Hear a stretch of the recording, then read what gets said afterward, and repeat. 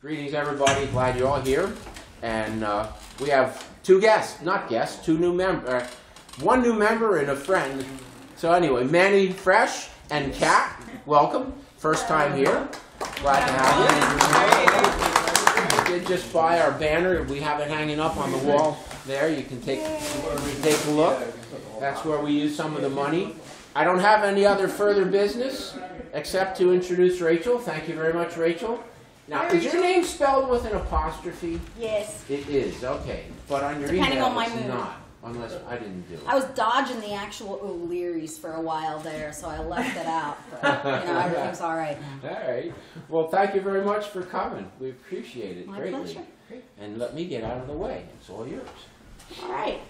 Well, today I'm going to be talking about nano aquaria and sort of the some of the unique obstacles of maintaining not just small tanks but small species because there's a lot of them. These are just some examples that people have sent me over the years of their tanks, or in the case of this one that I've stolen um, for no particular reason, just to show some some ideas of the different setups. There's there's so many out on the market now that you know I haven't even seen. You know I don't actually. Um, I only have a few small tanks in my fish room. I prefer big tanks with little fish.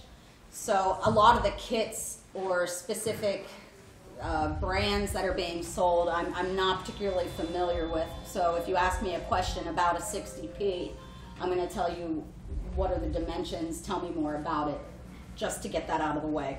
So be prepared. So some of the unique challenges of small tanks, which is, is what I started with, is that you know with a little tiny tank, obviously you get huge fluctuations because there's less volume. And where that can become problematic is when you're keeping something like shrimp that are intolerant to those fluctuations, or when you're trying to, you know, do a small water change and it turns into a big water change, or if you get, you know, lights on a timer that go off at a certain time and you're not using a heater, you can get a lot of big variables pretty quickly in a tiny tank. Maintenance can be a real chore, you know, as I mentioned, you know, trying to do a water change and siphon all your substrate without emptying the tank completely can, can be a bit of an issue. Uh, filtration, finding something that looks good in a small tank, hiding your equipment can be an issue.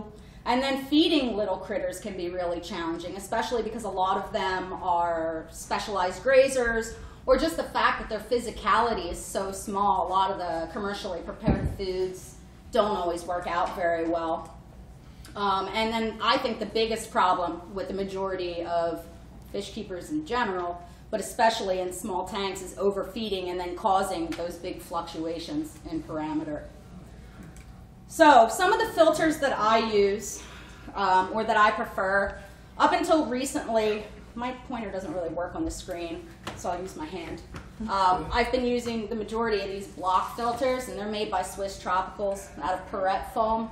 Uh, they have these lift tubes that are drilled all the way around inside the foam, so you get a really nice, dense, fine bubble output. Maybe not so great if you're running CO2, but really awesome as far as filtration goes. At one point, I had done a comparative study between the ATI, which are pre, the best sponge filters before these came out, and the bubble output was markedly different. But not only that, being a lazy fish keeper, I would have to clean the ATIs, you know, every six weeks. Um, but I can take these guys, you know, once or twice a year. And what I do is I have multiple in each of my tanks because they're larger. I'll take them out. I'll replace them with one of the ones in there out, replace it with a clean one, and then I just run them through my dishwasher on hot. And I don't even have to do anything. It's great. I pack them up in a box when they're done, and then six months later, when I need to clean filters again, that's what I do. Uh, another thing that I really like are these these old school sort of corner filters that have been around forever. I'm really not sure why more people don't still use them. They're like a buck. You can shove them full of whatever you want. Um, they're they're especially invaluable if you need to use a chemical media to reduce meds or tannins or you know whatever, which is something that you can't do with your sponge filters. So I think they're really invaluable. But recently, what I've been converting to is these, and this is another Poret foam um, product. And what I really, really like about these is uh, once this is full of water, these braces pretty much disappear, and you set this up in your in your corner. You can hide your heater back there. You can hide, you know, different tubes back there. So when you're setting up a scape or you know, if, if you're like me and you just don't want to hit the filter with a net when you're netting in the tank every day, these are really, really nice. And the best part is, is Stefan swears that you almost never have to clean them. And again, lazy fish keeper. To me, that sounds like heaven. You know, even if I have to do it once a year, just pull that foam out and rinse it.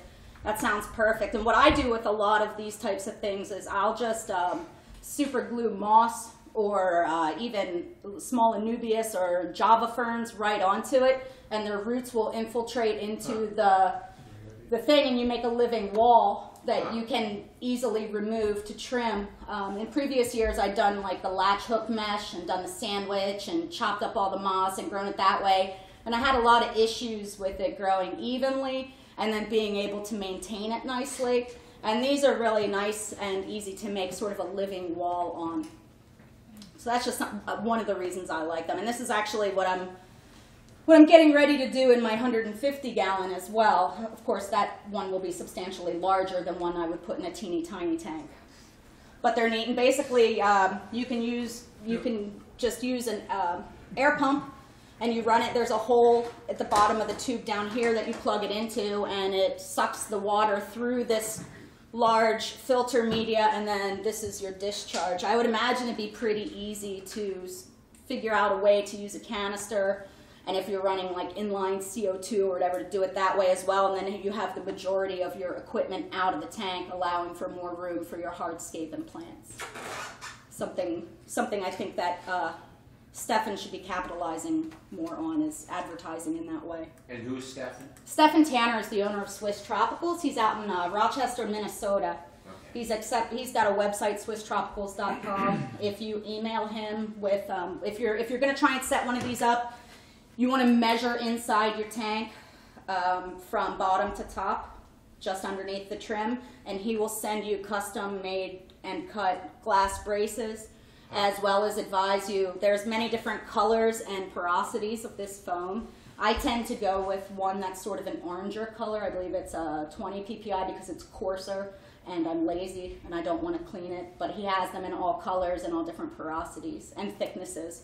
I think from uh, probably one inch up to five inch. You know, and also you can buy sheets of foam from him if you wanted to just make your own. Like when I do stuff like this, I tend to buy sheets of the foam, you know, eight foot sheets, Wow. because I'm doing 100 plus tanks. When I bought the block filters, these guys, I bought 300. And then, you know, that way I can be lazy and put in as many as I want and have some clean to switch them out rather than having to to clean them as I go. I mean, I worry about a lot of things in my fish room, cross contamination. You know, if things are in quarantine, I don't want to potentially you know, mix anything, transferring species. So that's why I tend to also, it's not just because I'm lazy. It's also so that I make sure that I don't, you know, mix anything from tank to tank. Yes. You have a larger size tank that that would fit in? The corner filter? The filter, yeah. Uh, well, I'm getting ready to put it in the 150. Okay.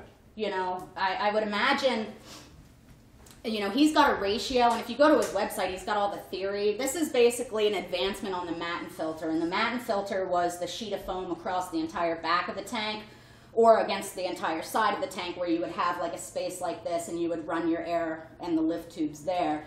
This is sort of an improvement um, in that it doesn't take up as much space. So if you go to his, his site, he has all the theory behind it. He's got all this, I mean, he's a, a geneticist so there's a lot of science available that he'd be happy to give you. Um, I skim a lot of that. I go for results, you know, and I, I've seen results with this particular brand of foam that he's the only one in the U.S. that So in does. the one fifty, you're gonna just use the air, airlift? No, what I did is I have an F- FX5, uh, Fluval FX5 that I've um, plumbed with one inch PVC. So one, it's in the middle behind the tank, and so this way it's going to go. My intake is going to come up over the top and go down, and it'll be drilled with you know quarter size holes the whole way down for suction. And then I ran one inch um, PVC to the other end, and I made a spray bar of one inch PVC that I drilled. And it's it's going to be a modified river manifold, so the current's going to be exceptionally strong. Um, but this is going to provide. This is typically with a modified river manifold system. You take the PVC down to the bottom, and then you have tubes coming up that you put pre-filters on, which means um, I'm doing a lot of rock work. I can't. That means I'm gonna have to cut around that for my egg crate. That means in order for me to be able to maintain those pre-filters, I'm going to have to not use hardscape there. So my thought with doing this was I'll just have to cut this little awkward angle in egg crate there, but I'll be able to utilize the entire six or seven foot length of this tank for my rock and um, driftwood scape with just and not have to worry very much about cleaning this like I would the pre-filters. What are you going to put inside your FX5? Uh, right now it has chopped up foam and um, ceramic rings. Because it's it's mainly I'm just particularly worried about biological filtration. I did leave the top basket, the top central basket, open for polishing pads should I need them at some point. Okay. Um, but this is going to be for you know inch fish, so I'm not particularly worried about the poop load. Right. You know, I, I'm more concerned about the turnover rate, oxygenation, and flow for the species that I want to work with. lecture. I'll see you, okay? Uh, but I, I really, you know, if you're curious about these, I really encourage you to look into them. I think for my 150, it was about maybe 80 bucks shipped for the piece of foam and the braces, and he'll even sell you the silicone if you need it for like four dollars. Huh. I have a lot of silicone. My husband has tubes of it, so I didn't worry about that. And I didn't buy the lift tube because, again, I'm modifying a um, canister filter, so it wasn't necessary. Now, on his website, it was um, there was a recommended flow, Yes. and since you're doing the river tank, it's going to be a lot more. Mine is gonna be, uh, but I'm only using this as the, as the suction. So Right. I'm not using this as the return, the corner Okay. filter. So I don't think it'll be a problem because they're at opposite ends of the short sides of the tank. You know, because it's a, a lateral across the tank movement, not um, not a more typical setup. And How often are you gonna clean your canister filter? Probably never until it stops. I love you. because that's how I roll. I'm like, oh man, where's my flow? Why are my fish at the surface? Ah. Got it. I think I've cleaned it. I mean, 2015. Oh, man, I put that in six years ago. Isn't that incredible? And you open up the media and it's like this gelatinous mud. You can't even remember what it was. at Yeah, that that's time how. you feel That's bad kinda- because you know you are killing off an entire new planet's worth. Of It- that, that's You that's primordial ooze right there. Damn It's it. it's pretty gross, and sometimes I'll just flip it into the trash can and then start over. yeah, so- Yeah, I think, I think the filter on the 29's going two years now. I, I before I got this 150, I had a 60 breeder set up where it is now, well, as well as many other tanks. And I had a canister on that. I didn't even remember I had a canister filter running on it. I just assumed it was sponge filters like everything else. So that tells you how well I maintained that one. But that you know, 60 is in my living room now. that 60 breeder. Yeah. Are you got, Are you the one that took that? Yep, that's in my living room. That was a good tank. Anyway, so this is this is what I like what I'm trying to transition to in my fish room. I think what'll actually end up happening is I'll hopefully get to put in a fish building and I'll just redo everything then. Um, because it's it's really daunting. I'm also wanting to upgrade all my lights to LED and that's equally as daunting. So, as I mentioned, siphoning can be a pain in the butt, and I have a bunch of cheap tricks that uh, I use to, to sort of make it easier in those little tanks. I'll actually use uh, like rigid airline tubing, just the length of it, and hook it to regular airline tubing, or even use one of the little step up valves to slightly larger siphoning, and then I'll use that to suction the debris out um, rather than using your typical siphon. That way, the, the draw is very slow, but it's also very gentle. So, if you have shrimp in the tank, if you have fry in the tank, if you have delicate, you know, root structure on plants that you don't really want to disrupt, you have a very gentle flow out. Now, they, they can become occluded, so I tend to keep a little like bottle brush or pipe cleaner nearby um, if I get like a small piece of dirt or whatever in there. Other thing I'll do is I'll take these are uh, Penguin pre-filters for power heads, and they fit beautifully over some of the small size siphons, like for the nano tanks. You can just chuck that over there. I tend to drain. Um, that probably sounded awesome did that. I tend to drain, you know, five, six, seven, eight, nine, ten tanks at a time. Um, start my siphon and I put them into my drain ports. So by doing this, I can make sure that again, I'm not going to drain the tank too fast but also that I'm not sucking in my critters, which with little tiny guys, they're, they're not real bright.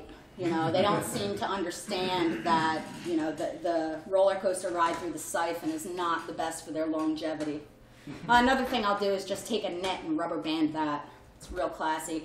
And then the, what I've, what, I don't have a picture of it, I don't think, no. Um, but what I've actually started making recently is more PVC, and I'll buy whatever diameter I want depending on tank size and then I put a T on it, and then I put um, screens, uh, like sort of for like a, a sink over the side with a two-way valve, so I can turn the valve on, start the suction, run it to my drain ports, and it's got the screened parts, so nothing can get sucked in. And then when I'm done, I can you could you could theoretically I don't I could run my water line back into it and refill the tank. I do that a different way. But those are really nice too because you can set them like if you do only ever do 30% water changes, if you set your elbow so that it's at that level in the tank, you can't over drain your tank. So that's kind of nice. Um, I've, you know, I'm pretty notorious for flooding my fish room and also accidentally emptying tanks completely by getting distracted for, by something shiny. You know, I do that a lot with mine too because when you do multiple tanks, so I start draining one and I go back to refill the other. And I have a, um, a suction cup on a clip, like you would use for a heater or for filter flow, and I put that on the end of the siphon and stick that into the glass. I use, And that way I can adjust whatever level, and it's only gonna drain to that part. Another And I can wander another cheap thing too is the the clips that hold clip lamps. You know, just like your normal clip lamps. If you take them off the dome, those that you can run the siphon tube through the little triangle hole into the tank and clip it to the trim, and you can set your height that way as well. And of course, that's if you're not particularly worried about siphoning up debris. If you're just changing water. Yeah, I don't use substrate in most of my tanks, so I'm generally concerned with siphoning out the debris that's visible. One of the big obstacles I mentioned was feeding these little guys. These are chili rasboras. You can see that giant gaping maw of death. You know, half inch to three quarter inch fish. So what they're eating there is uh, baby cyclops. You can see, you know, uh, the majority of, I mean, you can crush flake and they'll eat that, but the majority of commercially produced pellets or, or even the, the flakes are just too big for them, so you have to take that into consideration. I feed a lot of live foods, Daphnia, microworms. Actually, I'm a bone thug microworm killer because I always forget about them, and then you know you get that smell of rotten death that you can't identify, and you find your microworm culture shoved underneath the tank. But they're wonderful if you don't kill them. I use a lot more of I don't have them of white worms, which are slightly larger than the microworms, but they don't stink, and um, you don't have to change out the media of the culture nearly as much. You just use really moist potting soil. So those are very nice, um, very small. Daphne is great. The adult Daphne is a little bit large, but the, the baby Daphne are great. So you start your culture, you keep the adults breeding, you you know use a coarse net. You can pull out the babies to feed. It's nice for prey-driven fish. Even small fish are prey-driven.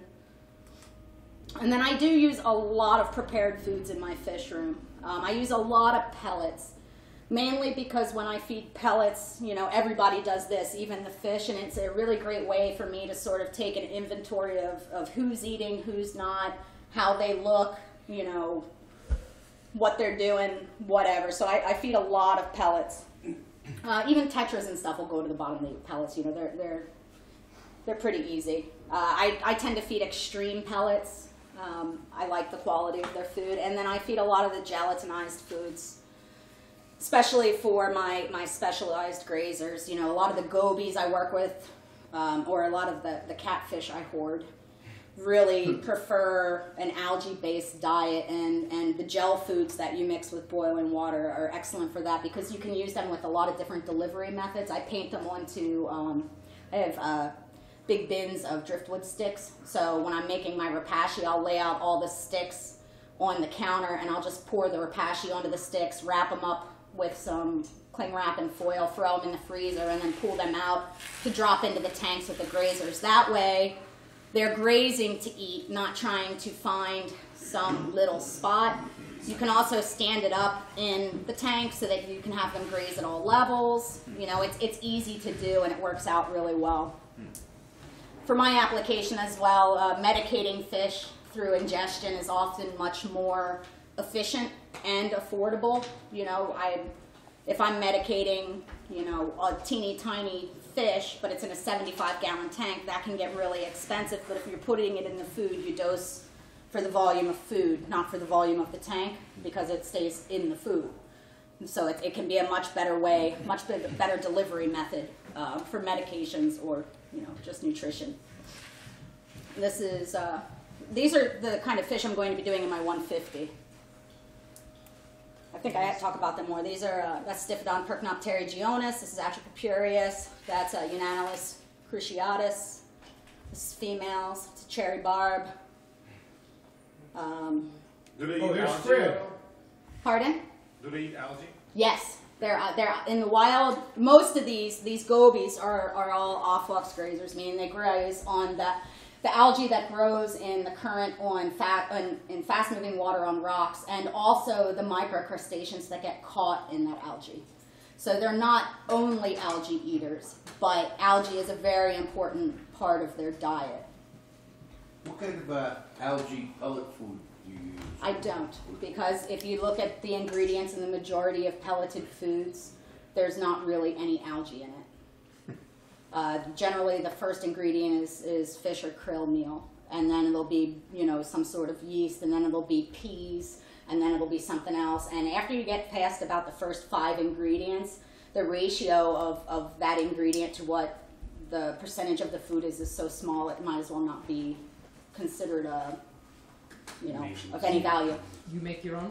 No, I use the gel foods, which I, I helped develop them with um, Alan Repashy, and that's actually, I forgot the donations for you guys, so I'll ship them to you. But um, the first ingredient is, is algae, you know. On the Repashy? Yeah. Well, with the Soylent Green, Soylent Green isn't, this is a Siamese algae eater for scale. Yeah. Um, with the Soylent Green and the Super Green, they're the algae based. Um, there's various diets. So, some things to think about when you're setting up one of these little tanks, you know, is with you guys, it's, I would assume it's a little bit different than a lot of the people that I talk to who just want to keep cool stuff. I think probably most of you are, are doing something cool with your tank, you know, so you would probably already know about your source water, but a surprising amount of people don't know anything about water chemistry. And when you're choosing nano species specifically, the the hardness of the water is really relevant because they're they're more sensitive. And small tanks, again, those changes. You you need to know what you're working with. You need to know if you're going to be able to maintain a stable parameter. So you need to learn about your source water and then pick according to it, unless you're going to run an RO system and remineralize and keep things at a specific parameter. You know, think about what are your goals. You know, if you're going to set up one of these beautiful planted tanks, are you going to be using a substrate that is going to leach out hardness and provide that soft environment?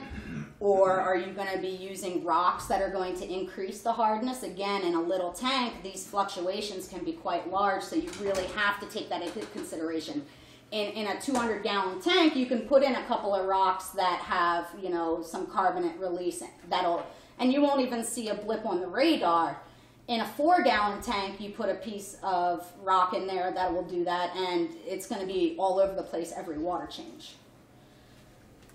Um, to what temperature you can maintain, I touched on that briefly. You know, lights are getting better and better and better and impacting temperature less and less. But in a small tank, again, especially if the lights are close, you know, I've got tanks in my basement where I'll get, you know, 14 degree discrepancy overnight to the morning Wow. just from the lights being off, from the central timer going out, you know, and it's a basement. Um, and then you've got to pick like what is your focus. Obviously, for a lot of you guys, it's it's your your scape. But what do you want to achieve with that scape? How do you want the critters that you choose to behave. Do you want, um, you know, sort of uh, a utilitarian approach where they're going to help you maintain your scope? Do you want to see flashy breeding behavior, or do you want them to choose a particular open area of your tank to congregate to offset your scape? There's a lot of different things to consider when you when you're picking your critters. Com- compatibility is just one of them, you know. Obviously, if you're super into shrimp, you probably shouldn't pick a predator to put with it. Just my advice. These are just some pictures of some of the invertebrates. I believe I have more of this coming on that, that are my favorites. Um, the most common, or the one that's been around the longest, is the cherry shrimp. They were introduced to the hobby in 2003. So invertebrates in general are extremely young in comparison to, to the rest of the hobby. Um, very easy to breed. You get a female, it's driving me nuts. A female, which is larger, and you can see her visible saddle, and a male, which is smaller and has sort of more of a, a concavity to the undercarriage. You can tell that from about a half an inch, sometimes even smaller. Their gender. They make sweet, sweet shrimp love, and then she will transfer the sperm packets, fertilize these visible eggs, and then carry them underneath her abdomen here in her pleopods, where she turns them for about three weeks or so until they hatch into miniature versions of the adults. This is a frond of Java moss. That's a newly hatched shrimp. To hmm. give you an idea of scale, and that's why I use a lot of sponge filtration or the corner filtration because I mean, it, I'll be totally honest. Like shrimp live quite well in your filter, but they're not nearly as pretty when you don't get to see them. So it's it's nice to, you know, sort of keep them in your display. You know, unless you want them to clean your filter media. I mean, I'm sure they do a great job of that too. These are some of the Neocaridina varieties. Um, it seems like every few months there's there's a new color coming out. I tend to, um, if, if you're really interested in a color form, I tend to pe- tell people to wait a little bit and let it stabilize before you pay a lot of money for it because most of these um, did not start out particularly stable in color. Like I'm working with greens right now, which I absolutely love, but they range from like a light lemony lime green all the way to almost a turquoise color. So depending on what I want to isolate, and I have multiple tanks of them, you know, I'll line breed those to get the stability. But they're they're gorgeous, and it's not that hard to to call them. And then, you know, we spent probably about I say we, meaning everyone in the hobby, all the breeders, spent about seven years working our butts off to get this like great opacity, this fantastic coverage, solid legs, solid antenna, solid carapace, and then we bred clear spots in them. so just goes to show you like it's like a fashion thing you know um, this this was all the rage for a while now that seems to have evened out and you know people like both but all these are are ones that we sort of took a step back in our line breeding and, and encouraged the um, transparency and again for pretty much i don't think there's green Rilis yet at least not in this country but for pretty much every color form available of neocaridina there's the Rili counterpart um, the Asian caridina are, are what tend to be the most popular with planted folks. Um, or maybe that's not fair. Maybe it's just that they tend to thrive better in the planted tanks that generally have softer water. Um, any of these are great. They, Uh, yes, Are they that sensitive to temperature? Do they really like it Yes. cooler? yes. They will live. You can get them to live in, in mid 70s or It's warmer. not that. It's um. I had a friend who was looking at them and decided not to because he was concerned that in the summer months, in August, there are going to be days that that tank is going to get up near 80 And if it's as opposed to and if it's- 72. But it's going to be, you know, If it's days, not weeks or months, that's probably manageable. Um, if it's consistent, you know that the everything gets accelerated. Their lifespan gets shortened. Um, they tend to lose their their berry, lose their eggs, or the eggs don't hatch, or the babies die. Now, if you're going to have them in a slightly warmer tank, I keep them in like mid 60s. But if you're going to have them in a tank that's that's over 70, if you crank the oxygenation, like a lot of bubble output, it seems to help. And that makes sense because a lot of these guys come from sort of like mountain streams where they're shallow, they're cool, and there's a huge turnover rate. So you've got a high oxygen content. So I would think that, you know, as your temperatures get warmer, if you increase that oxygen content, you'd have more luck. I mean, I tried for, for years trying to keep them in my, my sort of quasi-tropical tanks, and the, the adults would live, but nothing ever happened, you know, as far as reproduction. And they're not cheap, you know, so it's, it's nicer to have them thrive. Aqua soil is great for all these guys, you know, it's a really great way to sort of produce the neutral environment that they like. And this is just what shrimps do. And this is why everybody loves them. They just do that. Look at that shrimp. Uh, if they're doing this, they, they probably don't need you to supplement their food. If they're happily picking along. If you see them all swimming all over, actively seeking something to sit on and pick at, that probably means they're hungry. The biggest mistake people make with, with dwarf shrimp is, I think, overfeeding them. I rarely uh, feed my shrimp tanks because they're all planted. I'll drop like a, like I said, like a pellet in there every so often to sort of get an inventory and evaluate the stock and to pick out my calls and things like that. But otherwise, if they're doing this, then they don't, they don't really need anything. They're happy. Uh, these are, I really, really love, and about, it's 2015, gosh, it's probably been about comes the director. five or six years ago. I used to be able to get them in all the time and of really good quality, but I don't know what's going on in uh, in Malaysia, and they actually come out of Singapore a lot. But if you if you try and get these now, if you're like me, they they come in and they're all mixed together, and you can see all the different varieties. Right now, all of these species are lumped into the same classification, which is Caridina babaulti. But like this this shrimp, you know, it's inch and a quarter. This shrimp is inch and a quarter. This shrimp and these, you know, have the same sort of breeding strategy as a cherry shrimp or a crystal shrimp. But I don't know if you guys can see or not. This one has a modified larval stage, which only lasts like a day or two. So they'll have thousands of these teeny tiny eggs that they release into freshwater that then convert. Clearly, they're not the same species. And then you go here, and this is a half inch shrimp to three quarter inch shrimp, which is sold as the same shrimp as this shrimp. And maybe that's a female, and maybe that's a male, or maybe they're two different species. But when they come in all mixed bag, it's uh, it's kind of a nightmare. And and they the exporters do a really terrible job of packaging them.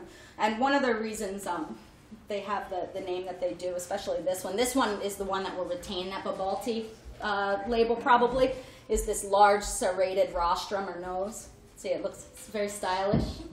so. But these are actually my favorite. These are Indian White Banded. And what's nice about these is they won't hybridize with your crystals or your bees or any of or your tigers. They won't hybridize with your Neocaridina. They like about the same water chemistry as all your cherries, all those neos. So you, you can have several species together for different color without risk of hybridization and undoing the line breeding that's in a lot of the other, other shrimp. Because this is just how they show up in the wild. Uh, these guys are really cool. You'll see them to a purple color all the way down to like a light tan with this, this banding. They're, they're really my favorite. I do have some that I was able to get in at home, but I'm hoarding them. so you'll have to wait for offspring. A mono shrimp, I'm sure all of you have probably kept a mono shrimp at one time or another. They're fantastic. I like to show this ancient slide of mine um, that I had this chunk of wood with BBA. I was like, oh no, BBA. I added 200 or so Amanos. hey, I got them. Why not, right? And and this was like three days later. So, you know, your mileage is going to vary. You know, what I tell people, if, if you're running a lot of tanks and you have some of these slow growing plants, you know, especially Anubias tend to get that around the edges of the older leaves. If you can set up a little five or 10 gallon just for Amanos and you can pull those rhizome plants and put it in their tank and not feed them anything else, you're, this will be exactly what happens for you. Exactly.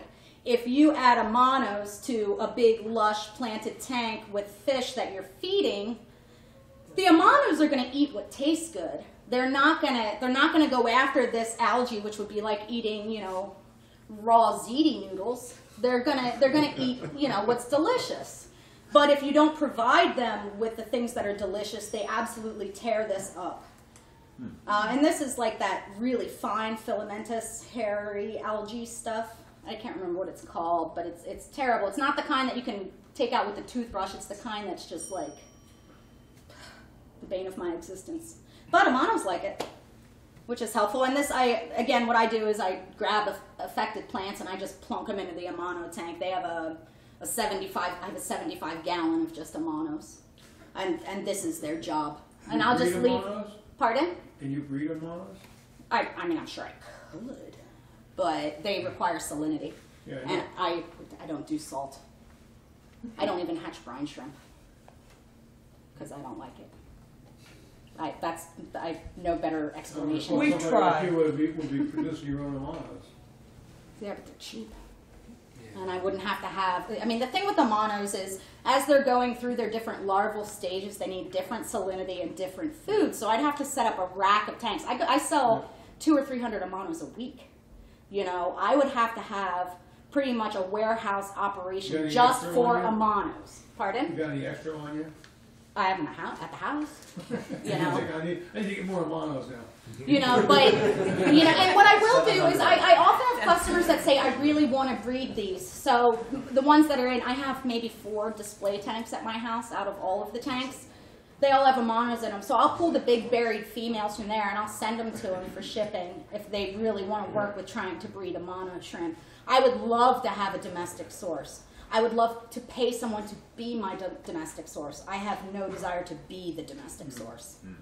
You know, it, it, it would be a full time job uh, because you have to move them and watch. I mean, they swim at different angles during different larval stages, and that's how you know to change. Right. It's, that sounds mm. like uh, even more work than what I'm doing. Snails, I love them. No, let me just stop you right here. Sure. No, you haven't, I, I haven't seen the, the, the ones that Connie gave me a couple of years ago. Whatever they were, but I thought it was cool. Oh, oh, they're uh, the red claws. Red claws. Um, red claw Crabs? shrimp. Shrimp. Yeah, they. Oh, I don't deal with macrobrachium generally. Um, they're they're nice. They're just a little bit sassier. They're um, more of a scavenger than an omnivore and a picker, so they tend to be a little bit more aggressive to each other after molting and to other species. So as I mean, I've kept them, I've bred them. You know, I, I think I even wrote an article on them. But they're not one that I generally keep in my fish room. Not because they're not nice shrimp, but they're just not my particular interest Where, in. where can you find them now? Uh, they come in as contaminants a lot, and there's there's there's vendors online I'm sure that sell them. I don't know anyone offhand anymore that I would recommend. I could find out for you though. You know, shoot me a message. So snails are what started me in this hobby, um, specifically mystery snails, apple snails, or that species of apple snail. And I, you know, think they've often had a bad rap over the years, but they can be really, really useful. One snail that I love but that I avoid are the, the rabbit snails um, from Sulawesi, mainly because I've imported them, I don't know how many times, bajillions, and they always come in with these uh, snail-specific leeches, and I don't, I don't do leeches, and it's very difficult to treat snail whose entire body is mucosa with any medications that will kill a leech without killing the snail.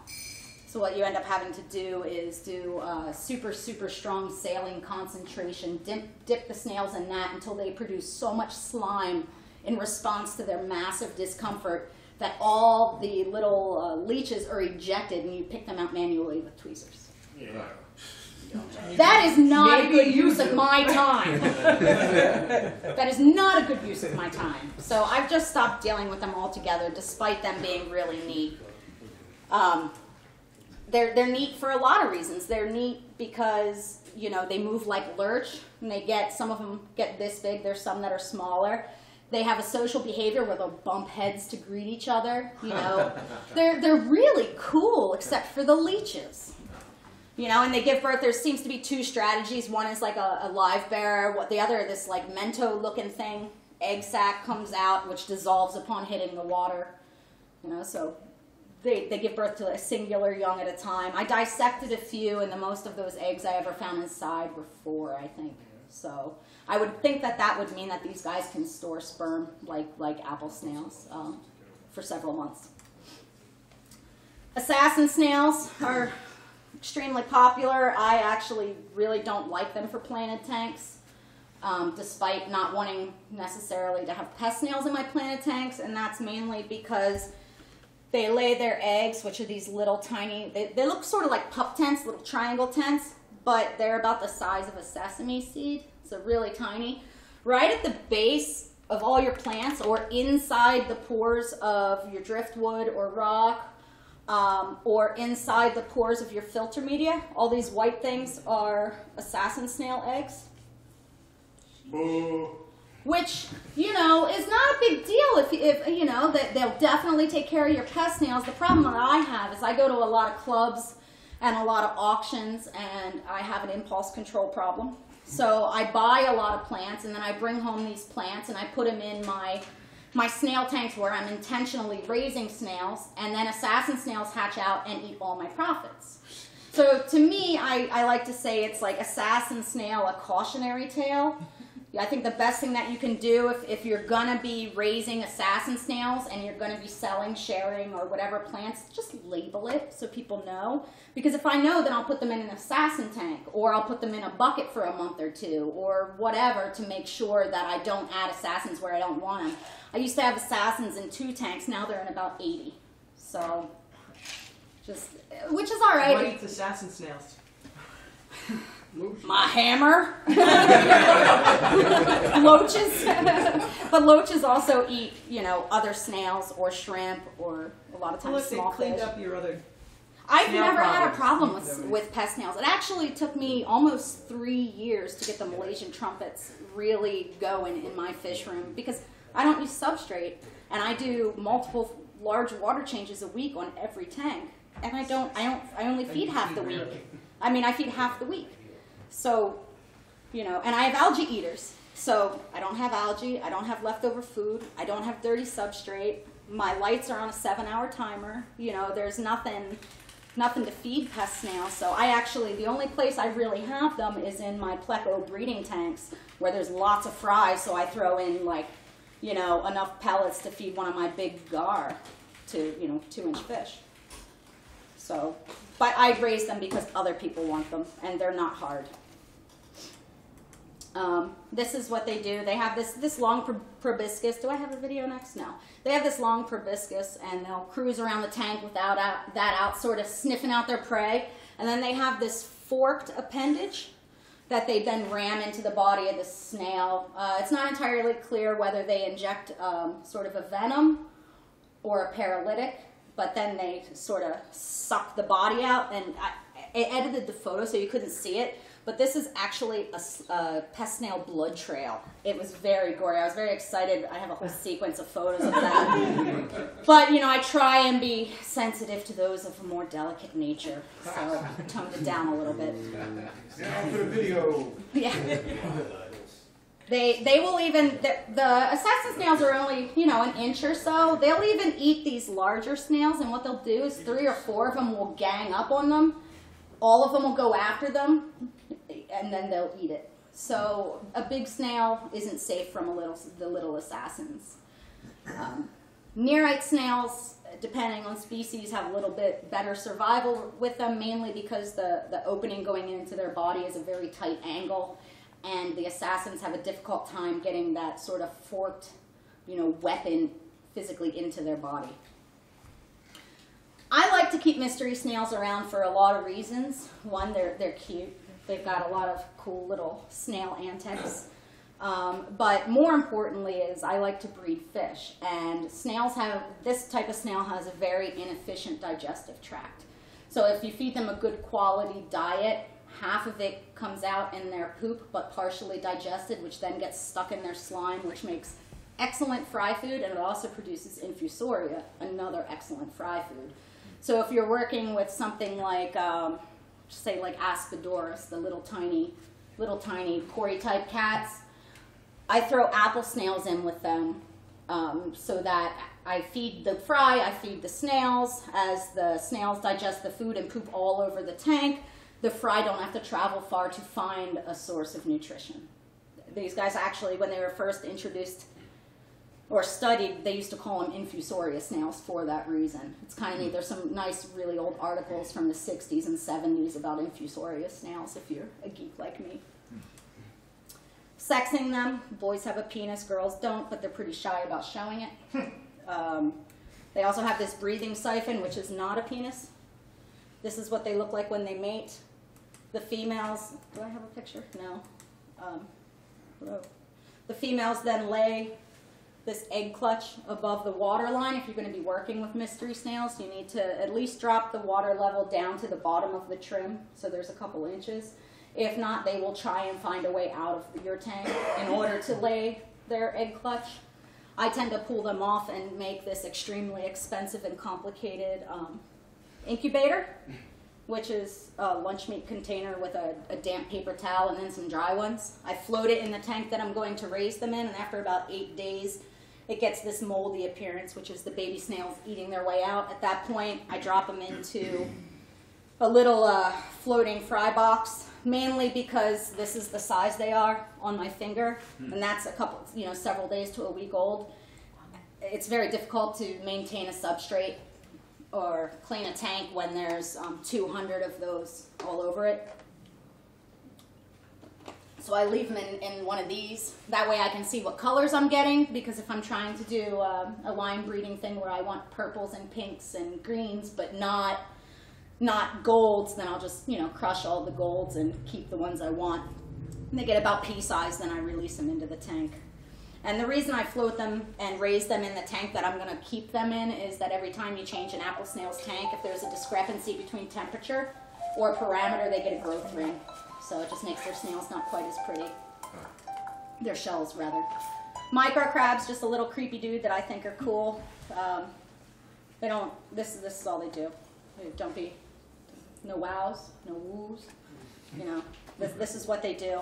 At least until you feed them, and when you feed them, they all tilt up on their side, extend these long legs with these these pilose hairs on there, and uh, collect the food that they then groom off themselves. Just kind of neat. They've got these big furry claws, so they take those and they clean their legs, and that's how they eat. And this is one carrying babies.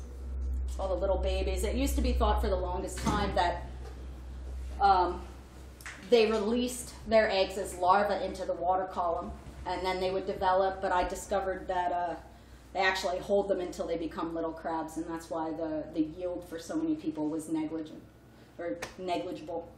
Um, I, I haven't quite figured out what my magic trick for doing this was. As far as I know, I'm the only one that has. I'm not quite sure why it works for me, but I get results, so that's nice. But they're neat little little creepy critters. Crayfish I can't carry anymore. He has some of these uh, Cambarellus over in his 29. I love them. I love them to death. They breed very similarly to shrimp. They're very sassy little suckers. You can see here's a mama holding a bunch of babies. You know. They're, Pennsylvania doesn't let you have them? no, they're illegal as of January of last year hmm. Why? because of uh, it's it's a it's a bait crayfish issue. But instead of them banning specific species or practices, they banned crayfish across the boards. Which was a shame because I had just isolated out like this really awesome blue, like the bottom of the blue in your banner, dwarf crayfish. I was super stoked. It took me like two years. I was like, yeah. and I fed them to my fish. You know, like I can't keep them. keep Well, I mean, I'm sure I could, but I get visits from Fish and Game. So I don't really want to have anything that I shouldn't be selling. Um, because I, it's hard to say no when someone comes in, especially if they live in Jersey and they're allowed to have them. You know, it's hard to say no, but I, I can't sell them. And they're reproducing like, what, it, you know, I just, whatever. It was a sad day in Rachel Land. But sexing them is pretty easy. The boys have this extra set of uh, sort of hockey stick shaped legs behind their walking legs. This guy's missing a walking leg. I guess his lady got a little amorous. He'll take sperm packets, attach them underneath her uh, belly here. right? And she will then take them and fertilize herself through this little hole, her ovipositor. It's a little circle. So if you're looking at the crayfish, the boys have this extra set and the girls has a little circle right there. This is an adult size in my hand, and that's them holding their babies. I was writing an article for Amazonas Magazine on them. So I had uh, this female in a two gallon tank because I wanted to um, capture the photograph of her releasing the first baby. You know, I, I thought it'd be really neat. You know, well, thoughts are wonderful, but she she held on to them for weeks. They would they would release and go out on the plants, and she would swim over them and scoop them back up so that I couldn't get. I, I felt like it was so that I couldn't get my picture. Perhaps it was the giant looming black lens that was more intimidating. So I finally gave up because my deadline was passed, and I threw her back in the tank. And within seconds of going back into the normal tank there and she let them all go. She was the one I was happy to feed my fish. So anyway, they're neat, and that, as I said, now there's there's several different species. This is uh, Cambarellus patzcuarensis. There's four or five different dwarf species that you can find, but not the blue ones that I was working with. So fishes, you know, inverts are, are what I started with, but fish have really become more of my passion as I've, I've grown into this hobby, and it's mainly because so many more new and exciting teeny tiny fish are becoming available on the market. Boraras are probably the smallest, and in my opinion, the most outgoing. These are the most popular, your chilies. Um, teeny tiny little guys. I'm gonna try and not go too slow here. I know I'm taking up a lot of your time. These are tiger shrimp, and this is a little Habrosus cory. And in a minute, you'll see a, a come into to view. And the reason I have this video is I love love the internet. You know, it's been an amazing thing. But I read all the time about Boraras, people saying Boraras are going to eat their adult shrimp. And I look at this little fish and I look at these shrimp and I wonder, I mean, how, who comes up with this stuff? I mean, have these people never even seen these guys? It doesn't happen. They're, they're very suitable together. Now, that being said, any fish will try and eat, any fish that isn't an algae grazer will try and eat baby shrimp if they can. So you're gonna, if you want to breed shrimp, obviously no predators at all is your best route. But the, I think that those guys are the best. Well, some of the best. I don't have some of the other ones I really like in this presentation for for keeping with shrimp. These are just some of the more popular ones. Some I like more than others. Um, I sell these guys all day long, every week, and they're my least favorite nanofish. I still like them, or I wouldn't carry them, but they're they're just a bit shy, and um, they actually have a surprisingly high prey drive for their size, both for invertebrates and their own eggs and fry. So they make me mad. I do, however, breed them outside every summer, and like I moved out um, seven of these and brought in 200 or 300 offspring this fall. So definitely very doable. SBs are one of my favorite. That's not a particularly good video, but I like how it shows uh, sort of how they group. Brevibora dorsiocellata, or the emerald eye rasbora, is probably my favorite of the schooling fish for their schooling behavior. It's extremely in the top third. If you think about one of the planted tanks that has the grass on the sides and you know, and your carpet and some nice rocks and you want them to hang out in the middle right here, that's your fish. It's small and it's gonna, they, man, all in one direction, turn on a dime, all in the other direction, turn on a dime, all in one direction. It's what they do nonstop. Kubotais are really nice. They're a little more outgoing. This one's less common, less flashy, but I prefer it. Um, I actually don't really like this fish either, but it's very pretty. The boys are very pretty. Nice and blue. There's also green and red forms. And uh, my, one of my favorites is always always white clouds, which he has some of those, as well as the SBs and these guys over there. Uh, these are some African species. Um, I'm supposed to be getting some of these next week. They are under a half an inch, super rare, pretty costly, but they get my fish keeping rocks off in a major way. Really, really sassy little guys. If I did a really blown up photography, they have lots of little teeth, but they're too small to really do any damage to anything. Really cool little barb. Uh, this is an African tetra. Uh, these are drape fin barbs, which the the females get a pretty decent size, but they're really cool because the the um, they have a really one. I forget if it's a male or female right now. I don't know why my brain is farting, but they get a really huge fin, and then the other one has a short yellow fin. Barbus J I carry a lot. You'll see them in stores from time to time, uh, J barbs, but they're they're they're always sort of clear looking. But you get them home and you put them in a planted tank, and you can see them. Like if they were in a, in a four gallon tank, I could see them from across the room. The red gets so nice. These are some of the more South American species. I threw in a token live bearer. I don't, I don't work with live bears, so I threw in a token live bearer. That's nano for you guys. Uh, some pencils. These three are pencils. A little killifish. Uh, ember tetras are really popular. Ruby tetras are one of my favorite. Again, they're another fish that really look like garbage when you see them in a store, or if you get them shipped in. Generally, I mean, they look clear with a black dot. Like, who wants that? But if you feed them well and you settle them in, that red is. You guys have a bunch of them, don't you? Or did? No, we No? don't have ruby tetras. We've got the Or was it you? Do you have them, Yeah, I Colin? got Is like you? 20, Yeah. Aren't they? Yeah. They're like, whoo, show stealers. Show stealers. I wish that um, I wish that they settled in quicker so that we could use them for like aquascaping displays and stuff at, at conventions because they're a fish that I really they, they're inexpensive, but they're gorgeous. Rainbows. Everybody likes rainbows. I like rainbows. Rainbows are easy to breed with mop spawns. There's a whole bunch of them out there. Um, they stay small. I, a couple people got these that I brought today. They spawn every morning, almost continuously. So, yeah, they, they like morning. Well, there's big jumpers though, right?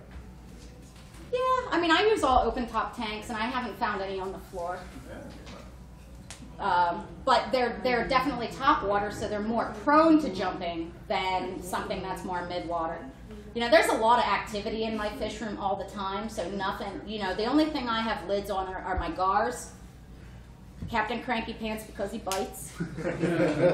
um, and my um, Laubuka dadiburjori, which are a little orange hatchet fish out of India. And because those suckers, I found them in probably 25 tanks all over the fish room. I have no idea how they managed that jump. I mean, it, I've never seen anything like that. Never seen a fish jump like those guys. You know, and killies are prone to jumping. Not the clowns so much, but most of the other species. So these, I mean, yeah, I mean, they've got that sort of pectoral alignment that keeps them up at the top. So I would say, yeah, they, they would definitely be more prone than a lot, but I don't find them to be particularly startly or jumpy fish as far as top dwelling fish go. It's probably more of an answer than what you wanted, but now you got it. Centerpiece fish, a lot of people like to use centerpiece fish. I keep species tanks, but I did get really jazzed when I saw a honey gourami over there because they're one of my favorites. You know, simple. I like a lot of the wild bettas. Um, I've worked with a lot of apistos and, and kribensis over the years, and you know, they can really, really kick up sort of the wow factor. But in a really tiny tank, what I prefer is these little dudes, these little Dario species. And this is, me. Yes. Question on the bettas? yes. You know, I've got like six or eight female bettas in the big Mhm. tank, and they do just fine. you Yep. know? And I'll put a male in there, and he doesn't seem to la- last that long. I don't quite understand why. He should be happy as a clam, I would think. I, I don't think he would like, your angels would like him very much. They never You- seem to have you- like, you know, torn fins or anything. I don't know. I've had experiences where the females are harems, and they have their dominance with the, the alpha They- they female, they and then set they a will they'll all attack the male. I don't I'm know. not sure. I, I honestly, the only domestic betta I've ever kept is my 11 year old daughters.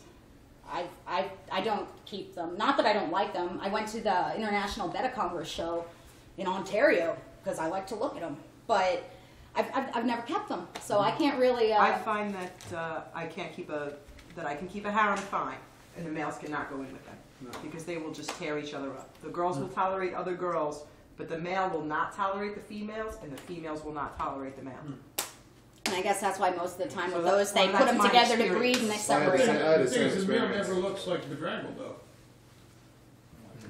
Maybe they're relentless for his Maybe they're attention. just maybe he's just And his heart breaks maybe in it half just doesn't because he take him can't that long to choose. kill him. There's that. I like these Maybe they don't guys. have to beat them up for a week. I've got stuff on Mark, he has a couple of them. I, I like the mouth brooders. I think it's really cool to see a smaller fish walk, or, you know, swim around with a mouth full of babies. I think that's cool. So I tend to gravitate towards those. There's some that are even smaller that are coccina, little scarlet wild bettas that are really awesome for small tanks, and licorice gourami. But I don't. Um, I keep playing with this mic. It's gonna. You're gonna love me when editing. Um, I don't I don't sell a lot of licorice gouramis because the vast majority, well, of most of the species I carry, but especially with licorice gourami, their, their habitats are being destroyed at an alarming rate, and many species have already possibly been wiped out. So unless someone's really prepared to breed them, I won't sell them to them.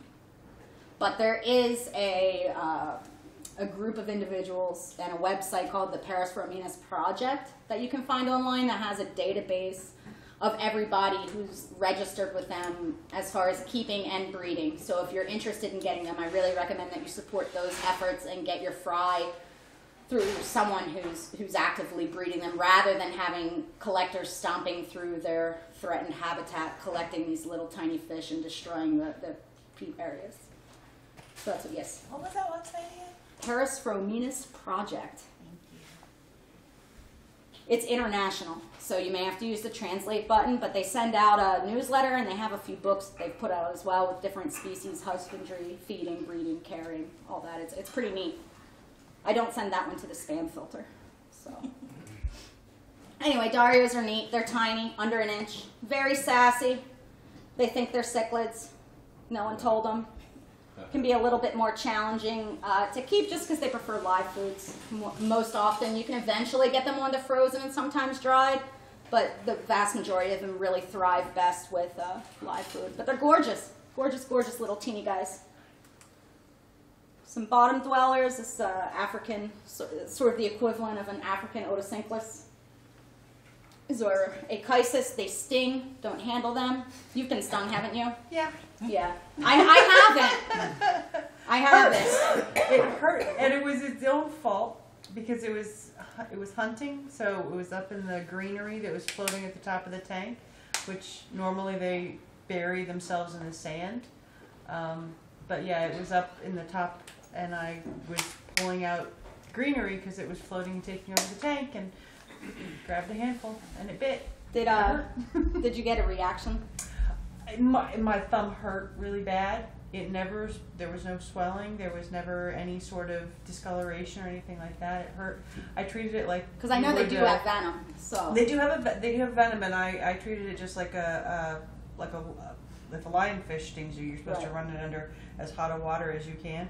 And man, I could tell you, under hot water, it didn't hurt. And then I would take it out. and it. Gotcha. anyway, so if you're ever working with a, a chisis, you know, be careful. yeah, They're yeah. they're like a bumblebee type cat, so gotta be. And these are little anchor cats that I love. Uh, some of my favorites are n- not kuhlis so much. uh, Sorry. everyone laughs at me; they scare me. I don't know why. They give me the heebie-jeebies, and like my arm hairs stand up, and I don't know. It used to be if I was gonna have those in the fish room, I had to put them in the tank behind my recliner, so that I, if I was hanging out down there, I couldn't see them because I'd sit there and I'd just get like goosebumps. But I love these hovering loaches. Uh, these guys have been really become really hard to source, but they're really neat because they hang out in the midwater. You know, so they dance on the glass and hang out midwater. So very different from a lot of other loaches, and really nice for a planted tank because they don't disrupt your substrate. You know, and they're also um, snail safe if you're concerned about that. Rhinogobius, these are some of the hill streams. This is what I'm going to be working with in my 150, just a few of the species. Again, this is a, an inch fish, inch and a quarter, maybe inch and a half. Uh, these are breedable, these are not. Just really, really cool hill stream species, meaning lots and lots of oxygen. They don't need the current as much as they need the oxygen. I'm going to do the current because they all have these modified uh, fins to cup into rocks and glass, and I want to be able to videotape, photograph, and write about those sorts of behaviors.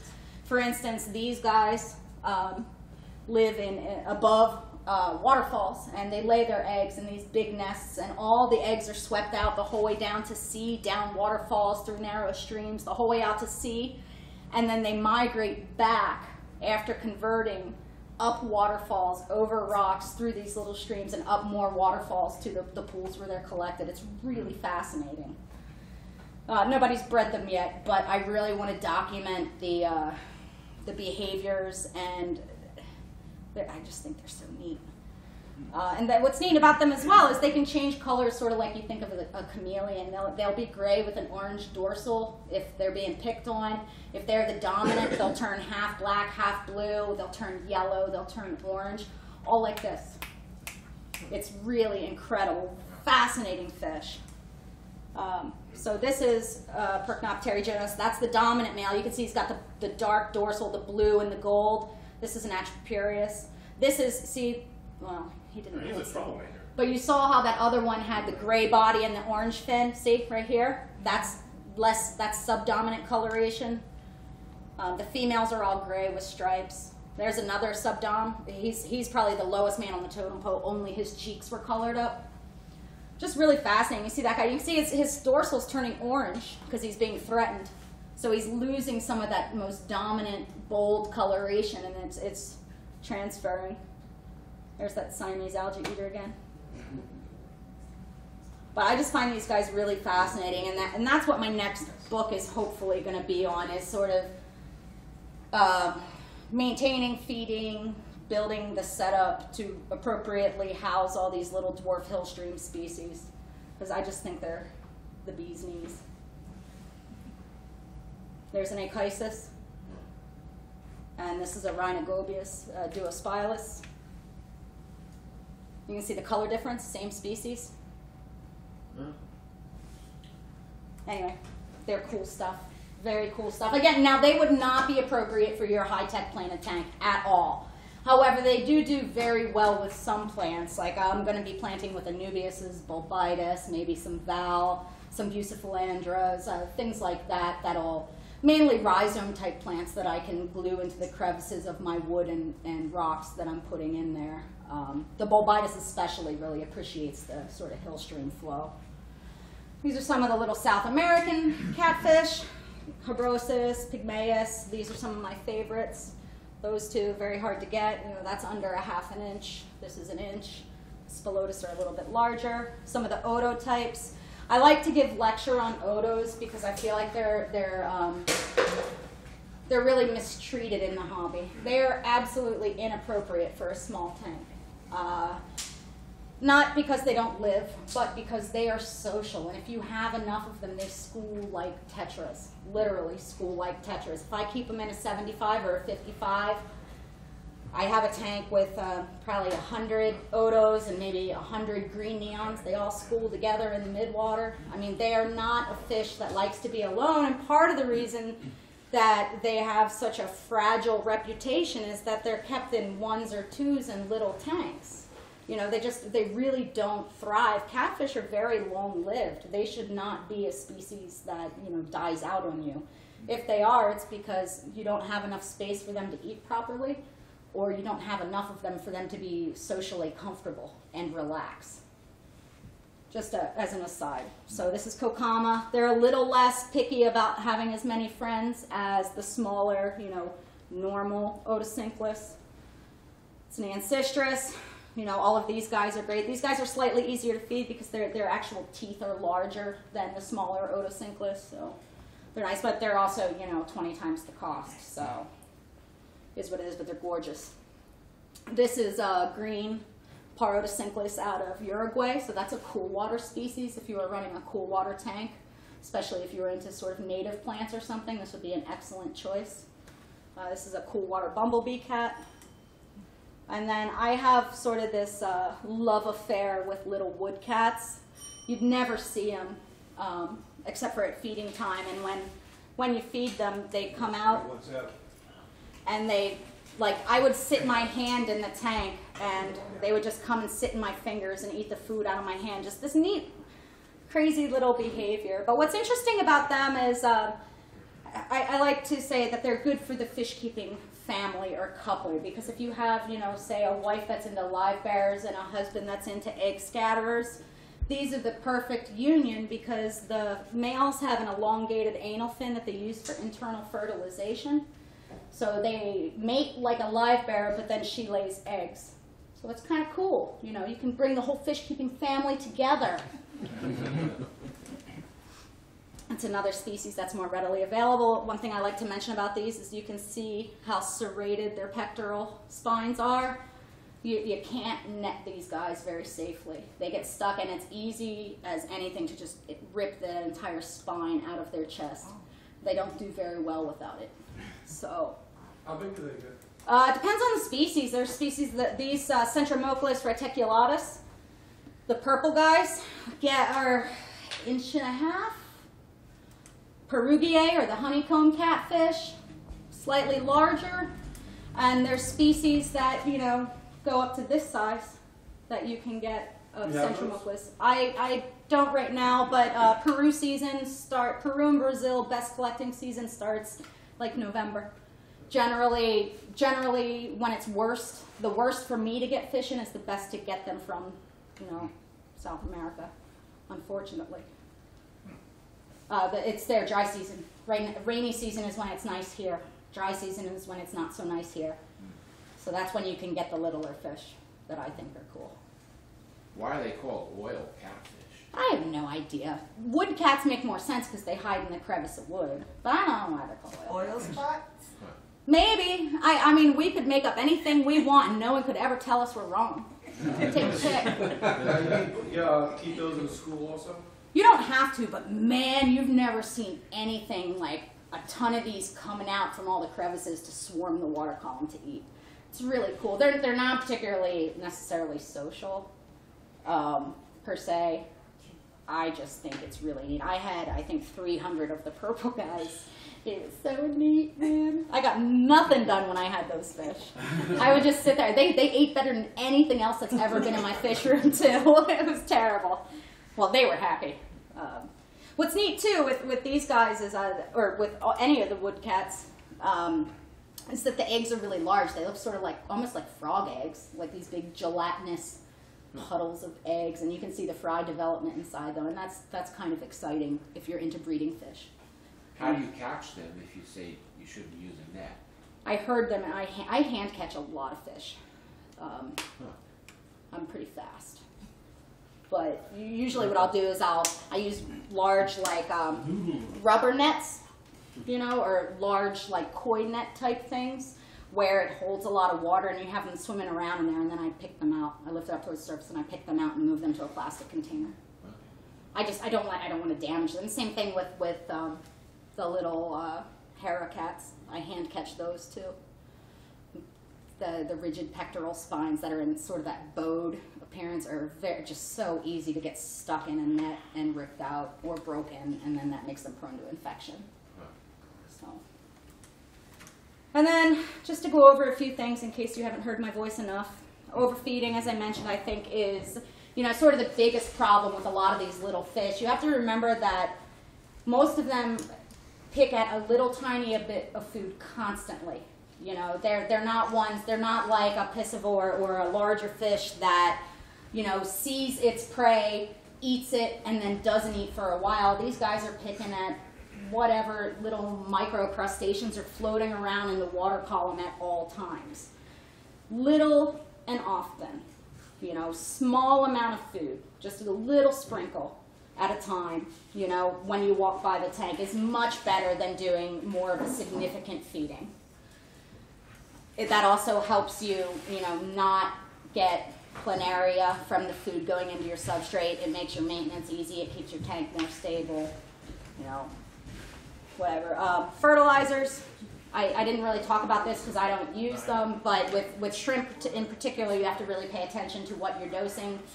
Now, at this point in the hobby, you know, there's so many things that are available. It's not as bad as it was, you know, 10, 10 years ago or more, when the only fertilizers that were really being offered were only focused on plants and not anything else living.